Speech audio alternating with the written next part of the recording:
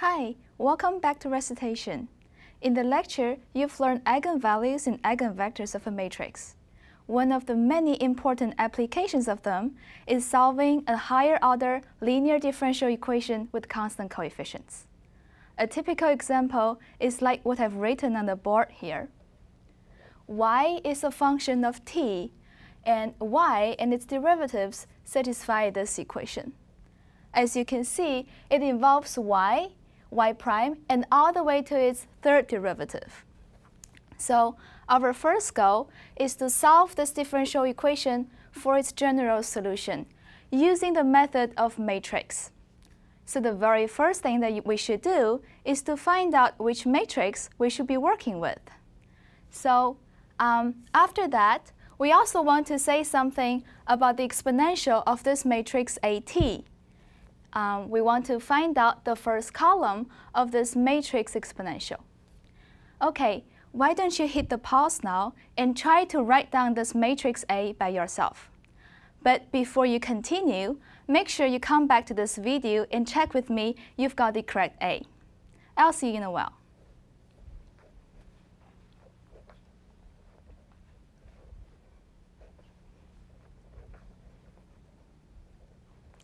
Okay, let's work together to transform this problem into linear algebra.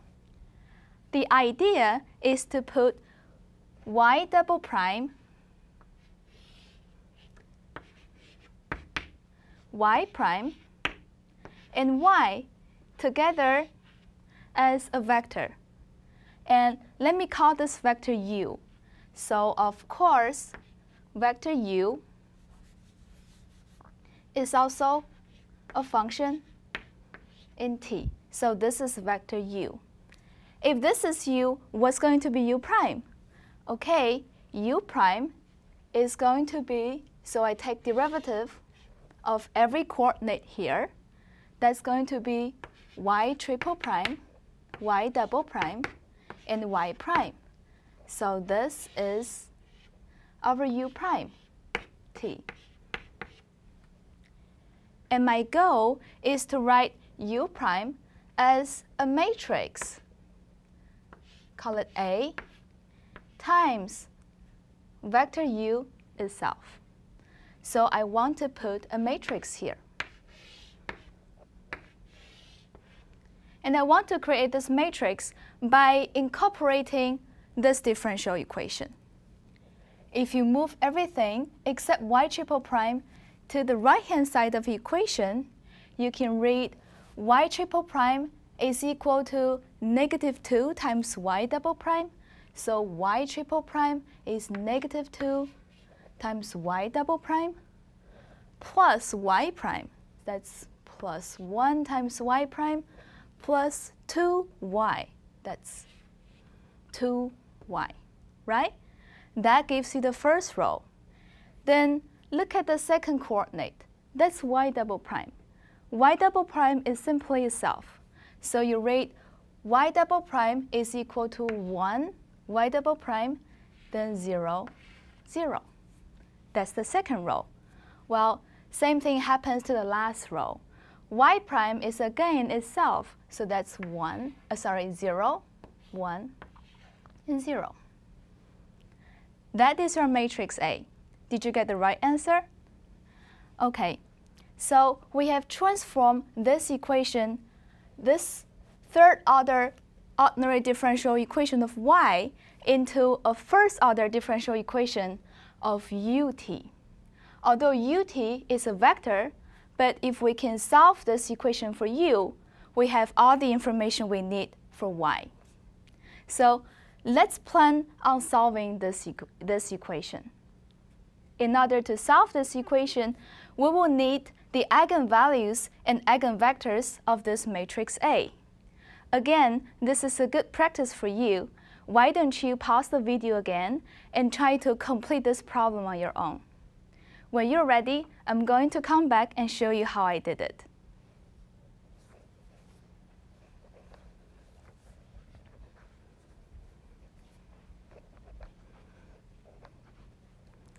Okay, let's finish up everything together. So, as we said, we need the eigenvalues and eigenvectors of matrix A, and that involves computing the determinant of the following matrix. So I want to compute the determinant of A minus lambda times the identity matrix I. Let's write it out. That's the determinant of negative 2 minus lambda, 1, 2, 1, negative lambda, 0, and 0, 1, negative lambda. So we need the determinant of this 3 by 3 matrix. Do it in your favorite way. You can either use the big summation formula or you can, you can do by cofactor along any row or any column. The correct answer should be this is equal to 1 minus lambda times 1 plus lambda times 2 plus lambda. And this polynomial has three roots, 1, negative 1, and negative 2. These are the eigenvalues we're looking for. So let me write it here. Lambda 1 is equal to 1. Lambda 2 is equal to negative 1. And lambda 3 is equal to negative 2. So now what we need is the eigenvector corresponding to each eigenvalue. Let's take lambda 1 for example. The eigenvector of A corresponding to lambda 1 is in the null space of the matrix A minus lambda 1i, so in this case it's A minus i. So it's in the null space of this matrix. In other words, we're looking for a vector, let's call it A, B, C, a column vector A, B, and C, such that this matrix multiplying ABC gives me 0. So if you write it out, that's going to be A minus I is negative 3, 1, 2, 1, negative 1, 0, 0, 1, negative 1 times A, B, C is equal to 0. Okay, can we choose constants a, b, c such that this is always true? Well, if you read the last row, so the last dot product, it says that b has to be equal to c. And if you read the second row, it says that a has to be equal to b, which means a is equal to b is equal to c. And if this relation is true, the first product is always going to be 0. So that simply means we can choose the first eigenvector, the eigenvector corresponding to lambda 1, to be x1 is equal to 1, 1, 1 transpose. So we choose the first eigenvector to be the vector, to be the column vector with all the, all the coordinates being 1. And you can do the same thing to lambda 2 and lambda 3. But please allow me to skip the computation here. I'm going to write out the answer for you. So x2, the eigenvector corresponding to the second eigenvalue is going to be equal to 1, negative 1, and 1. And x3 is going to be 4, negative 2, and 1. Now we've got everything we need in order to create the general solutions for UT. So we have eigenvalues, we have its corresponding eigenvectors. What should be UT? The general solution for UT is equal to some constant C1 times e to the power lambda 1t, so in this case, e to the power t, then times the first eigenvector, x1, plus some other constant c2 times e to the power lambda 2t, so e to the power negative t, times x2. That's the second eigenvector. Then plus some other constant c3 times e to the power uh, negative, uh, sorry, lambda 3t, so negative 2t times x3. That gives you the general solution for u. As we just said, if you know what u is, you have all the information you need for y. Okay, just in case you're curious about what y is, you can just rate the last coordinate of x1, x2, and x3. And you can see that all of them are 1. So yt is simply equal to c1 e to the power lambda t plus c2 e to the power negative t plus c3 e to the power negative 2t. And the choice of c1, c2, and c3 is completely arbitrary. So that completes the first part of this question. And the second part, we want to say something about the exponential of AT. So let me first give you the recipe to cook up the exponential of AT. The exponential of AT is equal to the product of three matrices. So usually we denote them by S times e to the power capital lambda t times S inverse. And you may ask what S is and what this matrix is. So S is the matrix that has x1, x2, and x3 being its column vectors. So S is x1, x2, and x3. Um, let me copy it down here.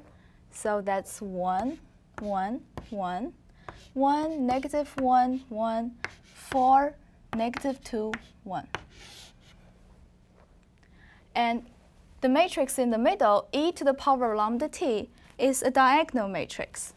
So e to the power lambda t is a diagonal matrix, and its diagonal entries are given by e to the power lambda 1t, so that's e to the power t, then e to the power lambda 2t, negative t, and e to the power lambda 3t, negative 2t. Zero everywhere else. So that's e to the power lambda t. Then the exponential of this at is given by the product of these three matrices. It looks a bit complicated because it involves the inverse of s. But luckily, we only want the first column of the result. So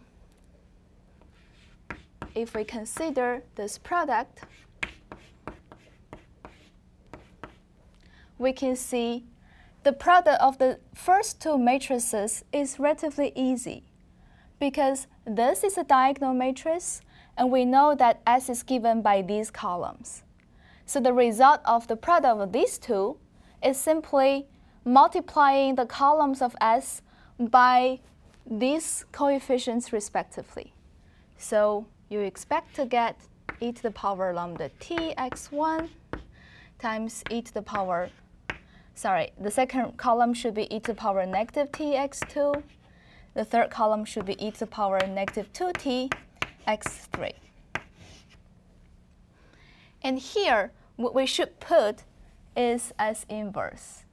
But we don't need everything from S inverse because, as we just said, we only need the first column of this result. And the first column of this product is going to be given by linear combinations of these columns, and the coefficients are going to be given by the first column as inverse. So our goal should be just to get the first column of S inverse. Okay, then what is the first column of S inverse?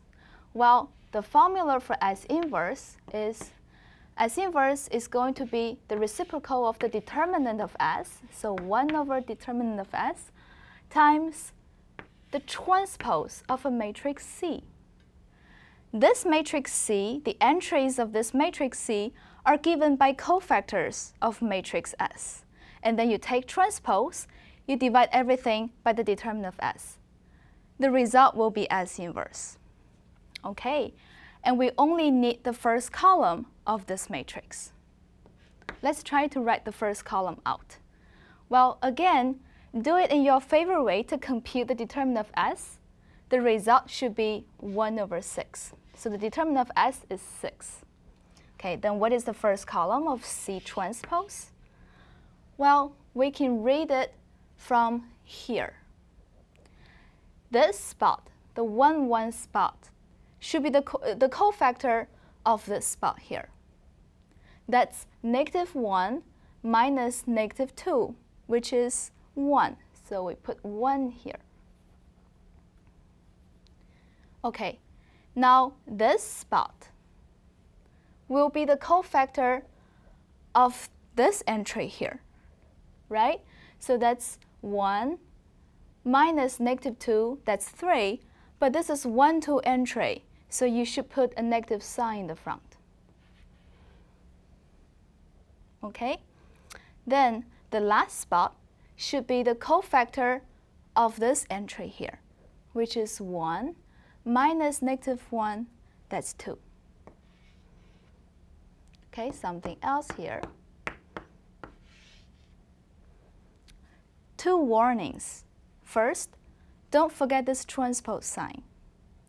Second, don't forget this negative sign. Okay, we've got the first column of S inverse, and that's all we need. So we put it here, that's 1 over 6, negative a half, and a third.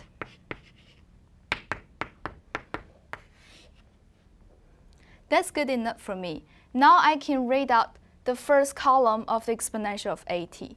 So the first column of, of the exponential of at, um, I'm going to write it here.